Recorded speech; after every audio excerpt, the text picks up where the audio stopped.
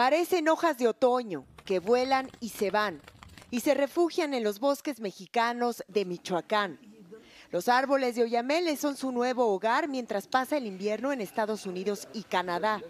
Pero el número de mariposas monarca que inverna en México bajó 22% por la pérdida de árboles. Así lo reportó la Comisión Nacional de Áreas Naturales Protegidas de México.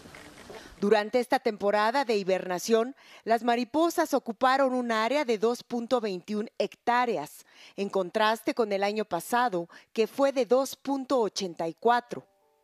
Una de las principales razones son las plagas que afectan a una planta llamada algodoncillo, la única donde la mariposa puede poner sus huevos y el único alimento que comerán. El 80% de la superficie del bosque se está reduciendo en términos de colonias de hibernación.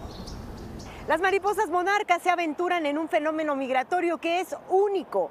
Desde Estados Unidos y Canadá viajan hasta 2.800 millas y llegan a los bosques de Michoacán.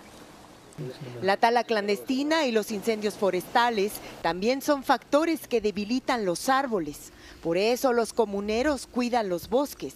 Checar que, que no haya personas pues ah, devastando la naturaleza, ya sea ah, talando los árboles o cosas así. La Unión Internacional para la Conservación de la Naturaleza ingresó el año pasado a la mariposa monarca en la lista de especies amenazadas por el alto riesgo de extinción.